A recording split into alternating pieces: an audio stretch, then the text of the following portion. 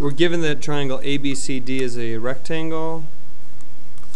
We also know that triangle BDFE is a rectangle, which will give us a whole bunch of right angles and a whole bunch of properties.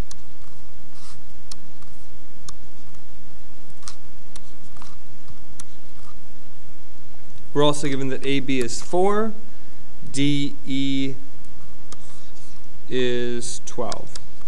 Well, opposite sides of a rectangle are congruent, so if AB is 4, DC is also 4. If DC is 4 and DE is 12, the remaining piece has to be 8. Now, we can recognize that here we have an altitude to hypotenuse situation because we have a right triangle, because this angle is a right angle because it's part of a rectangle, and we have a hypotenuse because or we have an altitude and we have a hypotenuse. It's a right triangle because of the uh, it's half of a rectangle. It's a hypo it's an altitude because this is a leg of this ABCD rectangle. So if I call this altitude h, I can say h squared equals 4 times 8, which is h equals the square root of 4 times 8, which is the square root of 4 times the square root of 4 times the square root of 2, which is 4 root 2.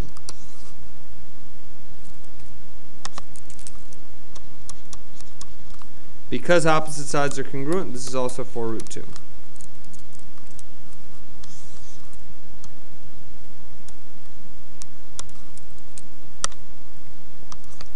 Now I can look at this triangle to figure out the diagonal of this smaller rectangle. Instead of using 4 root 2 and 4, I might divide each of these by 4 and get 1 and root 2. This is going to be root 3. This triangle is one-fourth the size of this green triangle. So I've got to multiply this answer by 4. Now it's also being divided in two because the diagonals bisect each other in a, in a rectangle.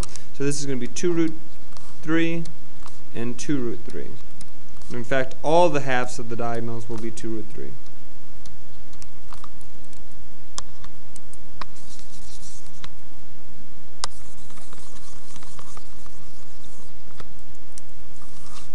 If this length is 4 root 3, then this length has to be 4 root 3 because opposite sides of a rectangle are congruent.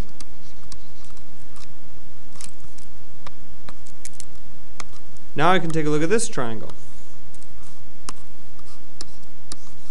4 root 3 and 12. Now again, I can reduce this triangle to, I can reduce it by a factor of 4, so this would be 3 and root 3, and find this missing side.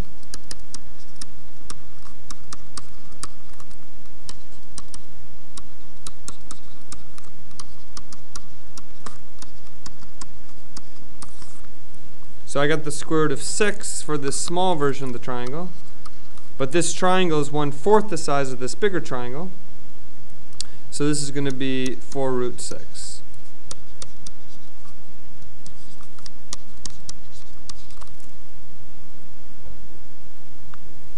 Now we know the diagonals of a rectangle bisect each other. So we know that if DE was 12, this would have to be 6. DW was 6, but this part's already 4, so this has to be 2. This is going to be 6, and this is going to be 6.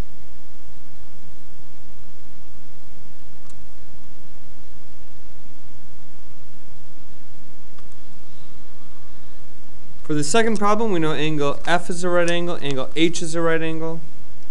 Angle FSG is congruent to angle HGJ.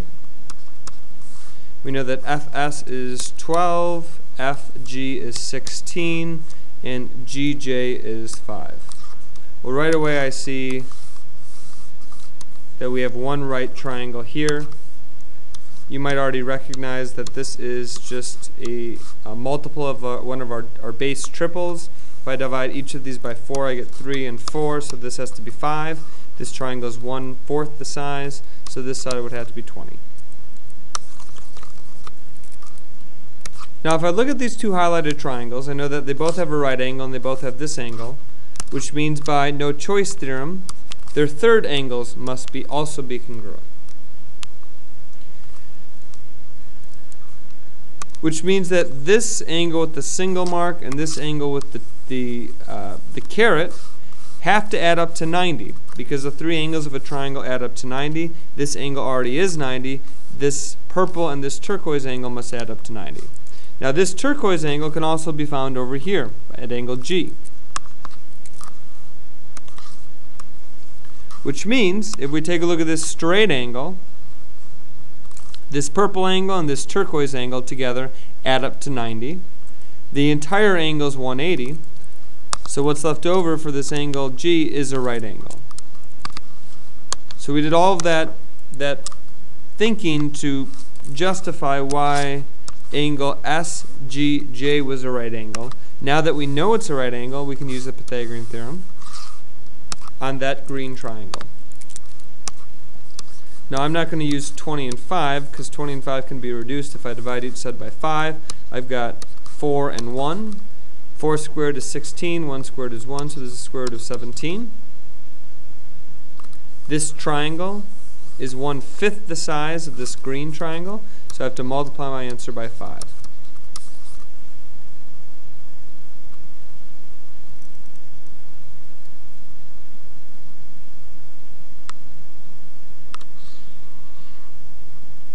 Here we have trapezoid PCAK. PK is perpendicular to KC. KA is perpendicular to AC. AC is 8, KC is 10. But look at this triangle. I know I have a right triangle. Hopefully you've recognized that this is a multiple of a triple. If we divide each of these by 2, we have 5 and we have 4, so the missing side is 3. This triangle is one half the size of this yellow triangle, so this must be 6. It's double a 3, 4, 5 triangle.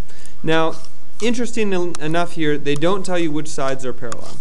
So these sides could be parallel, the purple, or the turquoise could be parallel. Let's first take a look at the purple. If these were parallel, then alternate interior angles would have to be congruent. If angle PKC is a right angle, this would have to be a right angle which would be impossible because you can't have two right angles in the same triangle. So it's impossible for those sides to be parallel. It's got to be these sides. So that's a, a you know short proof by contradiction. The reason why we have to do that, it didn't explicitly say which sides are parallel, so we have to actually figure it out. So now that we know the turquoise sides are parallel, we do know that alternate interior angles have to be congruent. So those angles have to be congruent. And we can conclude that these two triangles are similar by angle-angle. Whenever we have similar triangles, we can set up proportions between corresponding sides. I might redraw them because they're not oriented the same way. This would be 6, this would be 10, this would be 8.